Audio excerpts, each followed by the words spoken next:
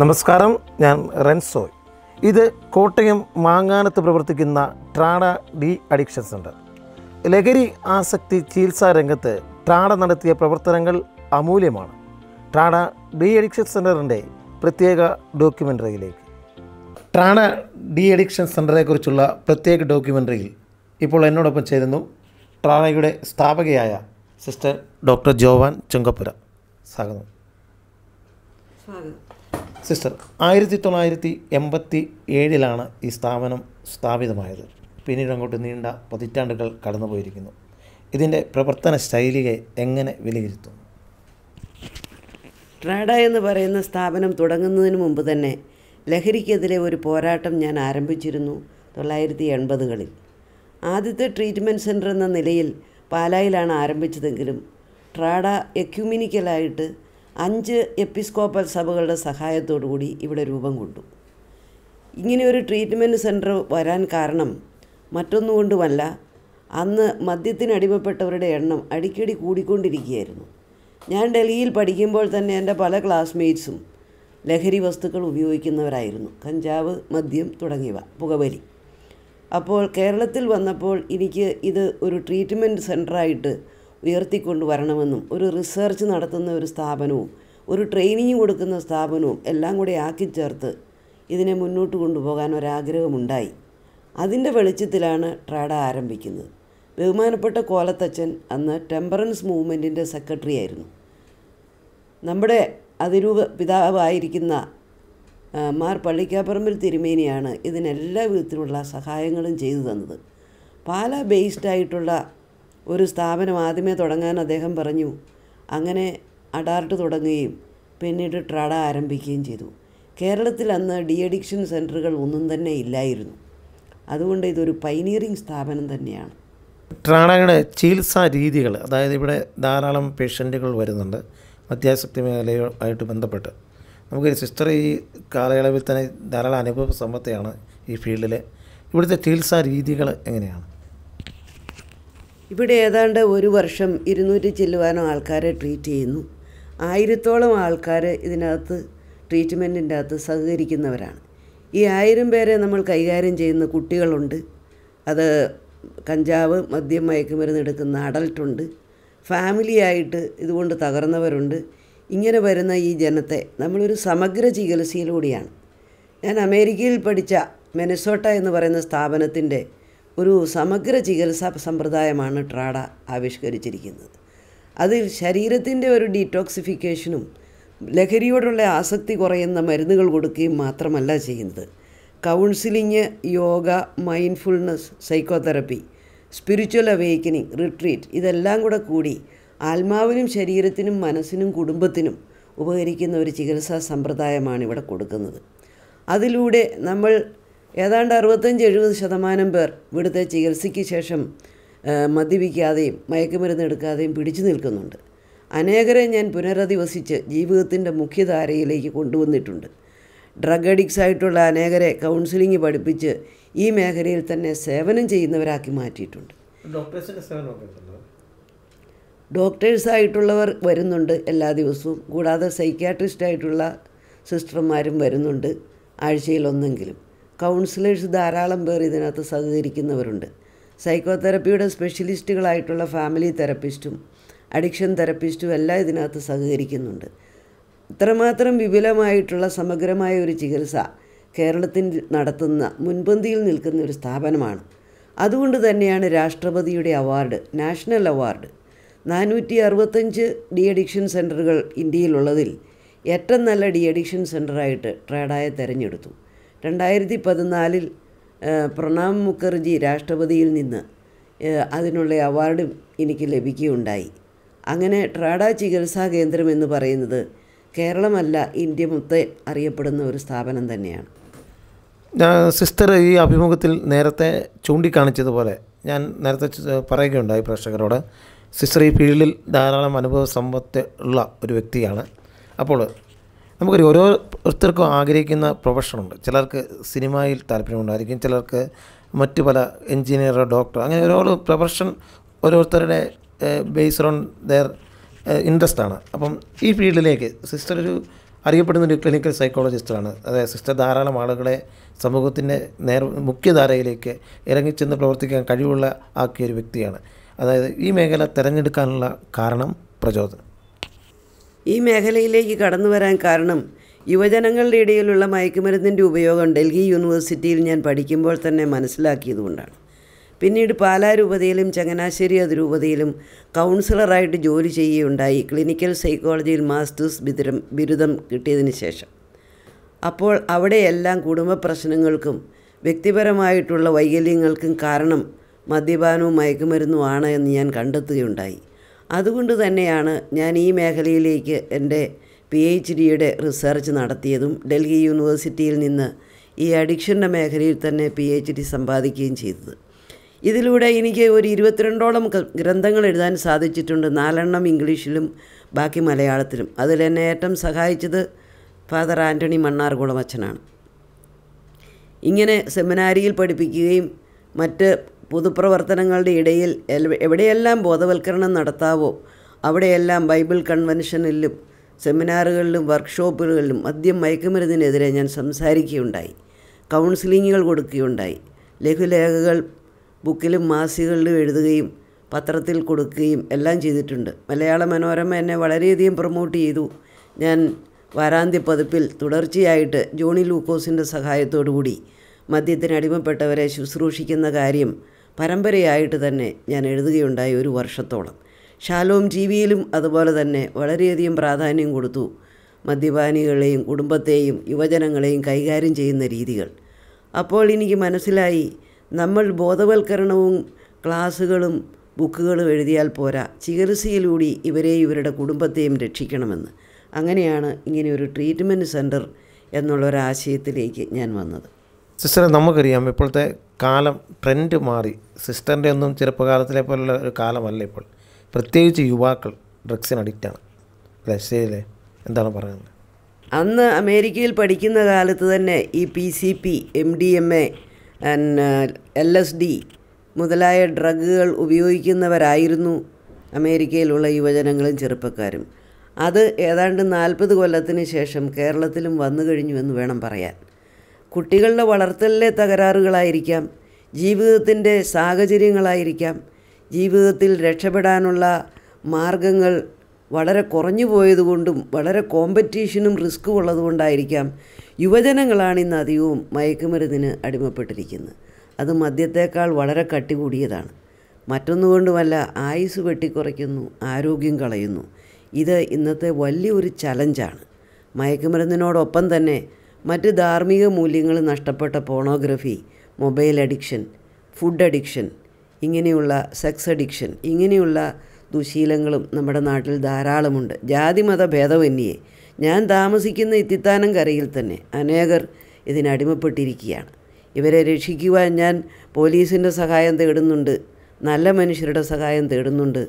ബോധവൽക്കരണത്തോടൊപ്പം തന്നെ കൗൺസിലിങ്ങും ട്രീറ്റ്മെന്റും പ്രാർത്ഥനയും നടത്തുന്നുണ്ട്. സിസ്റ്ററെ ഈ ഡോക്യുമെന്ററി കാണുന്ന ധാരാളം ആളുകളുണ്ട്. ഈ സമൂഹത്തിന് ഇന്നത്തെ സമൂഹത്തിന് പ്രത്യേകിച്ച് യുവാക്കൾക്ക് സിസ്റ്ററിന് നൽകാൻ പറ്റിയ സന്ദേശം അവസാനമായി. മദ്യം മയക്കുമരുന്ന് മാത്രമല്ല ഏത് തരത്തിലുള്ള അഡിക്ഷനിലേക്കും യുവജനങ്ങളും ടീനേജേഴ്സും പോകുന്നെങ്കിൽ അതിന് കാരണം ഏകാന്തതയാണ് മുഷിച്ചിലാണ് അർത്ഥശൂന്യതയാണ് ജീവിതത്തിൽ ലക്ഷ്യമില്ലായ്മയാണ്. ഇത് മാതാപിതാക്കളുടെ സ്നേഹക്കുറവ് കൊണ്ടും കുടുംബത്തിന്റെ സുസ്ഥിരയില്ലായ്മ സേഫ്റ്റി അതിന്റെ കുറവ് സെക്യൂരിറ്റിയുടെ കുറവ്. സ്നേഹിക്കപ്പെടുന്നു താൻ വിലപ്പെട്ടതാണ് തന്നെ കൊള്ളാമെന്നുള്ള ബോധ്യത്തിന്റെ ഇല്ലായ്മയാണ്. പ്രധാന കാരണം മറ്റല്ലാണ്ട് മാനസിക രോഗങ്ങളല്ല സാമ്പത്തിക ബുദ്ധിമുട്ടുകളല്ല മനുഷ്യന്റെ വൈകാരിക തലത്തിലുള്ള ശൂന്യതയും ആധ്യാത്മിക തലത്തിലുള്ള അർത്ഥശൂന്യതയും വ്യക്തിപരമായ ബന്ധങ്ങളിലെ ഊഷ്മളത കുറവുമാണ് അഡിക്ഷനിലേക്ക് മനുഷ്യനെ നയിക്കുന്നത്. മനുഷ്യൻ താൽക്കാലികമായ സന്തോഷത്തിലൂടെ തന്നെ തന്നെ മറക്കുവാൻ ബന്ധങ്ങളില്ലാതെ അലയുമ്പോൾ അവൻ കണ്ടെത്തുന്ന ഒരു തുരുമ്പ് പോലെയാണ് അഡിക്ഷൻ. ഇതൊരു ഊന്നുവടിയായി ജീവിക്കാനുള്ള ഒരു ഉറ്റമിത്രമായി അവൻ കൂട്ടുപിടിക്കുന്ന വലിയ റിസ്ക്കുള്ള ഒരു പെരുമാറ്റ ശൈലിയാണ് അഡിക്ഷൻ. ഇതിൽ നിന്ന് രക്ഷിക്കണമെങ്കിൽ കുടുംബം സ്നേഹം നിറഞ്ഞതായിരിക്കണം. ബന്ധങ്ങൾ ഊഷ്മളതയും വിശ്വസ്തതയുമുള്ളതായിരിക്കണം. സഭയും സമൂഹവും കുടുംബവും വിദ്യാലയങ്ങളും ഒരുമിച്ച് ചേർന്ന് മനുഷ്യ വ്യക്തിത്വത്തിനും മനുഷ്യജീവിക്കും പ്രാധാന്യം കൊടുക്കണം. അവനെ കേട്ടിരിക്കണം ആശ്വസിപ്പിക്കണം അവന് മോഡലാകണം അവനൊരു തുണയാകണം. വ്യക്തികളിലെ തകരാറുകളോടുകൂടി പരിമിതികളോടുകൂടി അവരെ ഉൾക്കൊള്ളണം. അവർക്ക് നിന്നെ കൊള്ളാം നീ സുരക്ഷിതനാണ് നിനക്ക് ജീവിക്കാൻ പറ്റും എന്നുള്ള ഒരു സപ്പോർട്ട് നൽകുക. അഡിക്ഷനെ നമുക്ക് തൂത്തെറിയാൻ സാധിക്കും. അഡിക്റ്റ് ആയിട്ടുള്ളവരെ നമ്മൾ സ്നേഹത്തോടെ പരിചരിക്കുക ഒരു ട്രീറ്റ്മെന്റ് സെന്ററിൽ എത്തിക്കുക.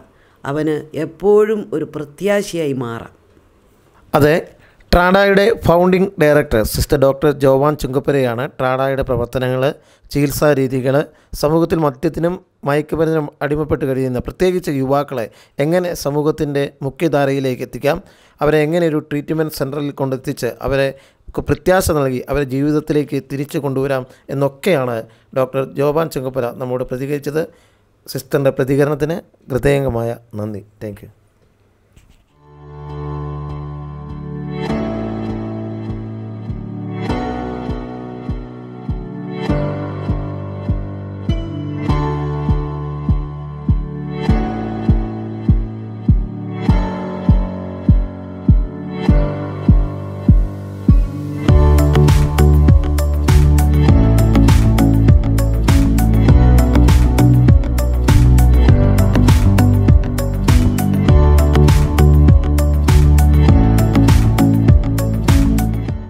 നമസ്കാരം. എന്റെ പേര് സിജി ആന്റണി. ഞാൻ ട്രാഡ ഇൻസ്റ്റിറ്റ്യൂട്ട് ഓഫ് സോഷ്യൽ സയൻസിന്റെ വൈസ് പ്രിൻസിപ്പളാണ്. Trada institute of social science ആയിരത്തി തൊള്ളായിരത്തി തൊണ്ണൂറിൽ സ്റ്റാർട്ട് ചെയ്തു. ഒരു മൈനോറിറ്റി എഡ്യൂക്കേഷൻ ഇൻസ്റ്റിറ്റ്യൂട്ടായിട്ട് തുടങ്ങിയ ഈ സ്ഥാപനം കഴിഞ്ഞ മുപ്പത് വർഷമായിട്ട് മാനസികാരോഗ്യ രംഗത്ത് വിവിധ പരിശീലന പരിപാടികൾ സംഘടിപ്പിച്ച് ഏതാണ്ട് വർഷത്തിൽ അഞ്ഞൂറോളം മെന്റൽ ഹെൽത്ത് പ്രൊഫഷണൽസിനെ എക്യുപ്പ് ചെയ്യുകയും ട്രെയിനിങ് കൊടുക്കുകയും ചെയ്തുകൊണ്ടിരിക്കുക. അതിൽ സോഷ്യൽ വർക്കേഴ്സ് ഉണ്ട് സൈക്കോളജിസ്റ്റുകളുണ്ട് കൗൺസിലേഴ്സ് ഉണ്ട് കൗൺസിലിംഗ് സൈക്കോളജിസ്റ്റുകളുണ്ട് പല റിലീജിയസ് ലീഡേഴ്സായിട്ടുള്ള ആളുകൾക്കൊക്കെ de addiction training counselling psychotherapy psychological assessment family therapy അങ്ങനെ അഡ്വാൻസ്ഡ് ആയിട്ടുള്ള പ്രൊഫഷണൽ മേഖലകളിൽ ട്രെയിനിങ് കൊടുക്കുന്നു. Trada institute of social science പലതരത്തിലുള്ള പ്രോഗ്രാമുകൾ സംഘടിപ്പിക്കുന്നുണ്ട്. അതിൽ പി ജി ഡിപ്ലോമ ഏതാണ്ട് എട്ടോളം ഡിസിപ്ലിനായിട്ട് പി ജി ഡിപ്ലോമ പ്രോഗ്രാംസ് ഉണ്ട്. കൗൺസിലിംഗ് സൈക്കോളജിയിലുണ്ട് അഡിക്ഷൻ തെറപ്പിയിലുണ്ട് ഫാമിലി ആൻഡ് മാരിറ്റൽ കൗൺസിലിംഗുണ്ട് ഇതെല്ലാം തന്നെ ക്രിസ്ത്യൻ മെഡിക്കൽ അസോസിയേഷൻ ഓഫ് ഇന്ത്യയുടെ റെക്കഗ്നിഷനോടുകൂടിയാണ് പ്രവർത്തിക്കുന്നത്. സി എം എ എന്ന് പറഞ്ഞു കഴിഞ്ഞാൽ ഇന്ത്യയിൽ ഏതാണ്ട് അറുപതോളം ട്രെയിനിങ് സെന്റേഴ്സും മുപ്പതോളം അലൈഡ് ഹെൽത്ത് പ്രൊഫഷനുമായിട്ട് ബന്ധപ്പെട്ട കോഴ്സുകളും നടത്തുന്ന നാഷണൽ ഇന്റർനാഷണൽ ലെവൽ റെക്കഗ്നീഷനുള്ള ഒരു ഏജൻസിയാണ് സി എം എ. പിന്നെ ഈ പി ജി ഡിപ്ലോമയിൽ തന്നെ എം എസ് സി കൗൺസിലിംഗ് സൈക്കോളജിയിലേക്കും സോഷ്യൽ വർക്കിലേക്കും ലാറ്ററൽ എൻട്രി പ്രോഗ്രാം ചെയ്യാം. മാർട്ടിൻ ലൂതർ ക്രിസ്ത്യൻ യൂണിവേഴ്സിറ്റിയുടെ ലാറ്ററൽ എൻട്രി പ്രോഗ്രാമിലേക്ക് അഡ്മിഷനുള്ള പല പ്രോഗ്രാമും ഈ പി ജി ഡിപ്ലോമയിലുണ്ട്.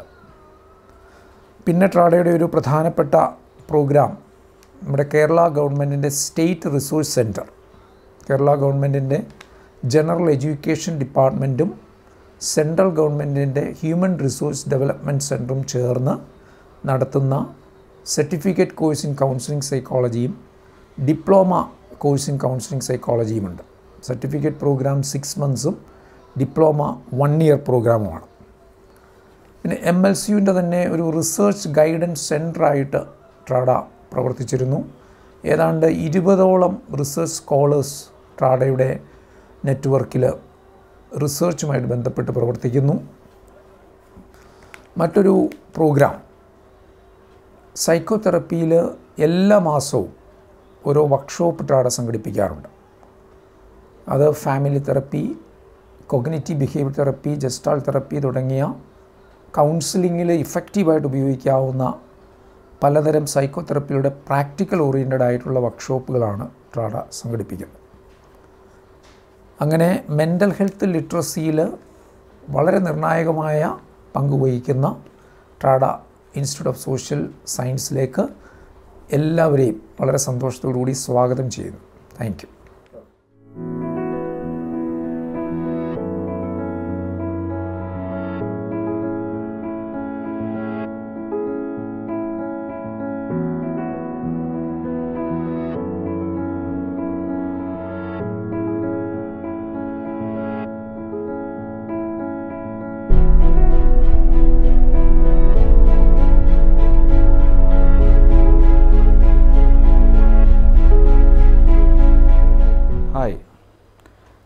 my name is Soni Silvi.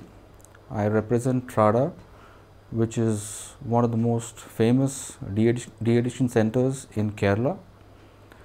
So കുറച്ച് പേര് എന്നോട് ഈ വീഡിയോ എടുക്കാൻ പറഞ്ഞപ്പം I was actually very privilege privileged because ഞാൻ ക- കണ്ട ഒരു കാര്യം എന്ന് പറഞ്ഞാൽ ഞാൻ കുറച്ച് കാലം വരെ കുറച്ച് till some time back what I uh, realized was most of the patients or the clients that came to Trada were connected to alcohol. But then, invariably, for the last uh, eight months to one year, what I understand truly is മിക്ക ആൾക്കാരും ഇവിടെ വ- ഇവിടെ വരുന്ന is connected to drug abuse which is surprisingly at a very alarming rate So നമ്മുടെ മിക്ക ആൾക്കാരുടെ ഒരു വിചാരമുണ്ട്. അതായത് എന്റെ ഭർത്താവ് കുടിക്കത്തില്ല അല്ലെങ്കിൽ എന്റെ മകൻ ഒന്നും ഒരു സബ്സ്റ്റൻസസ് ഉപയോഗിക്കത്തില്ല എന്നുള്ള വിചാരമുണ്ട്. അതുകൊണ്ട് കുഴപ്പമില്ലെന്ന് നമ്മൾ തീരുമാനിക്കും. പക്ഷെ അതാണ് ഏറ്റവും വലിയ പ്രശ്നം.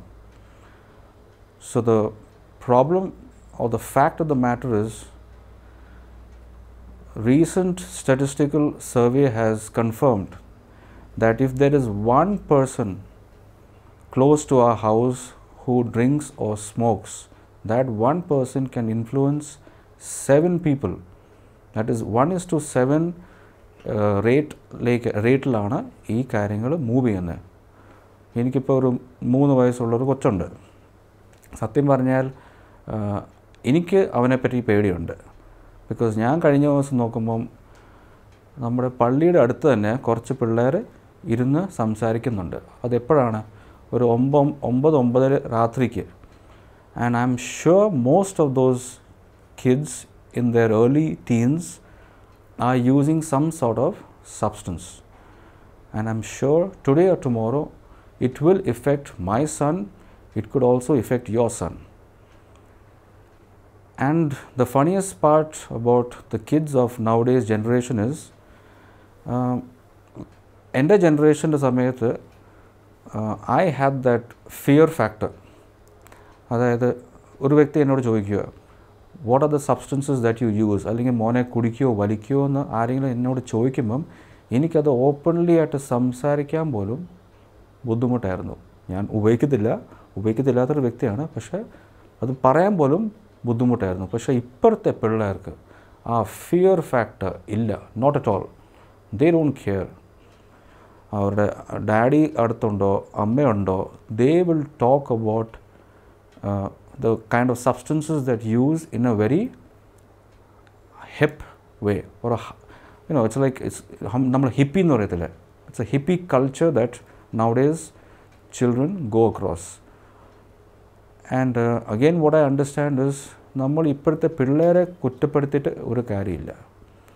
Because the problem mainly is the parents പേരൻസിന്റെ supervision ഇല്ലായ്മയാണ് ഇപ്പോഴത്തെ പിള്ളേരുടെ അഡിക്ഷന്റെ കാരണം. That is it I know നിങ്ങൾ പേരൻസിന് ഇത് അക്സെപ്റ്റ് ചെയ്യാൻ ബുദ്ധിമുട്ടായിരിക്കാം but at the end of the day that is a fact so if you can really supervise your children till the age of eighteen don't think my son is fifteen or sixteen he's big enough അവന് WhatsApp ഉപയോഗിക്കാം Facebook ഉപയോഗിക്കാം so he's a smart guy he can make a choice between right and wrong. No, that is an incorrect belief.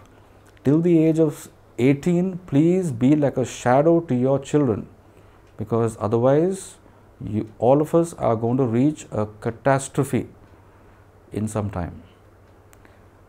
So, this is what I can this is what I have to say and another thing is നമുക്ക് സൊസൈറ്റീനെ മാറ്റാൻ പറ്റത്തില്ല not never because as most of is no this addiction industry is a very tough industry നമുക്ക് എല്ലാവരെയും control ചെയ്യാൻ പറ്റത്തില്ല.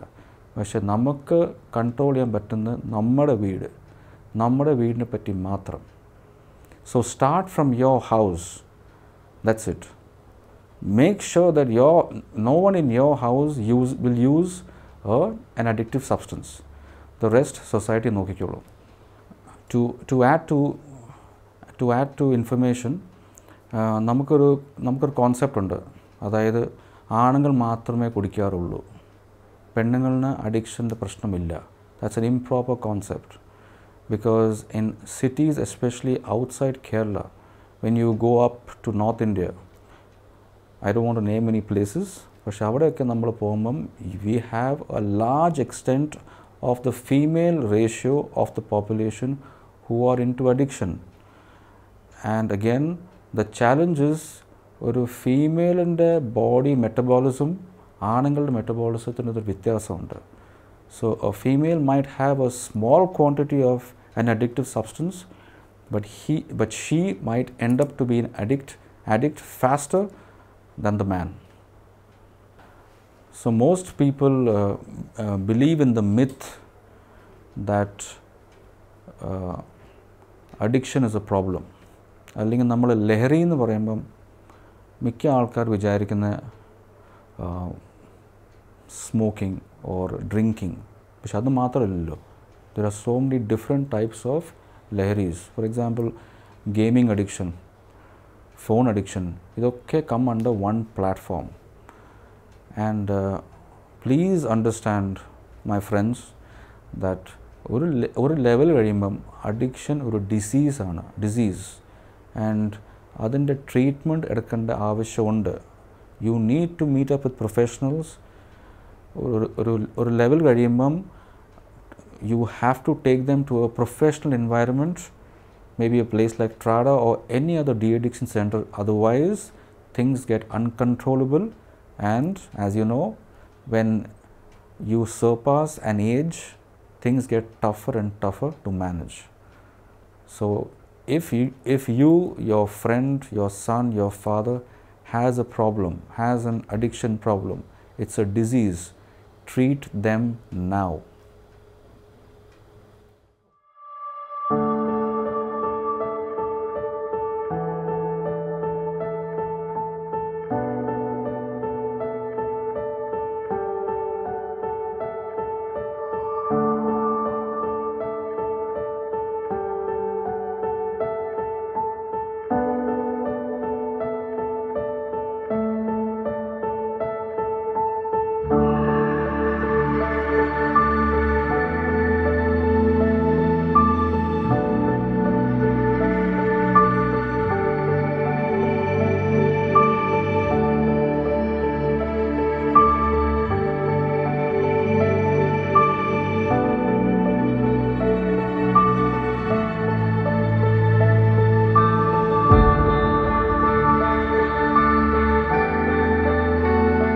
ആയിരത്തി തൊള്ളായിരത്തി എൺപത്തി ഏഴിലാണ് ട്രാണ ഡി അഡിക്ഷൻ സെന്റർ സ്ഥാപിതമായത്. പിന്നീടങ്ങോട്ട് വിജയത്തിന്റെ നീണ്ട പതിറ്റാണ്ടുകൾ. ലഹരി ആസക്തി ചികിത്സാ രംഗത്ത് ട്രാണ ഡി അഡിക്ഷൻ സെന്ററിൽ നിന്നും ഇനിയും നമുക്ക് നല്ലത് പ്രതീക്ഷിക്കാം. ഈ ഡോക്യുമെന്ററി ഇതോടുകൂടി ഇവിടെ പൂർണമാവുകയാണ്. മറ്റൊരു വിഷയവുമായി വീണ്ടും കാണാം.